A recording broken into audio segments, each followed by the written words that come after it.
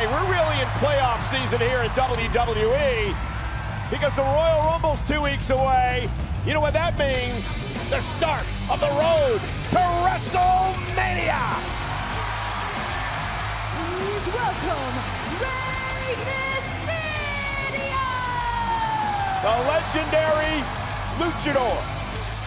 One of the most accomplished performers in the history of the Royal Rumble match. He won back in 2006.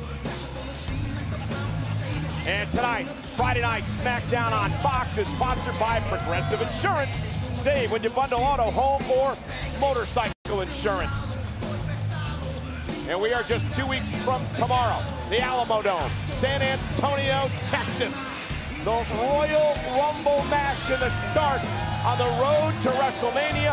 Everyone's wondering if Rey Mysterio will be a part of the Royal Rumble match. He's been a part of over a dozen his entire career. We can show you this way. Look at some of the superstars who have already declared for the Royal Rumble match. Oh, I already got bigger winner, but whoever the winner is will go on to main event WrestleMania and challenge for the undisputed WWE Championship whoever may be holding that title at the time.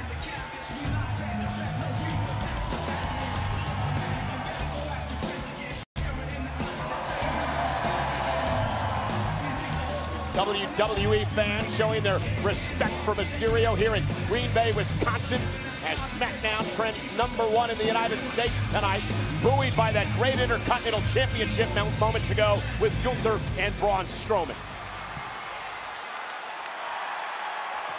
You know, I've always said that